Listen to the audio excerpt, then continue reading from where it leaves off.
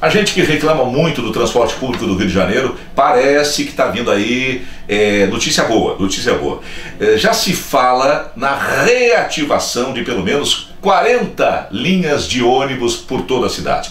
A notícia diz o seguinte: as empresas que operam ônibus na cidade do Rio de Janeiro foram notificadas a apresentar um cronograma para reativação de 40 linhas identificadas como inoperantes nesse momento pela Secretaria Estadual de Transportes. O prazo 30 de março, alta prioridade. E 30 de abril, média prioridade. A boa notícia: 40 linhas de ônibus, itinerários que estavam fora de circulação, gente que estava sem transporte adequado. Então, finalmente, no transporte público da cidade do Rio de Janeiro, uma boa notícia: 40 linhas sendo reativadas. Eu acho que ganha o público que precisa do transporte público.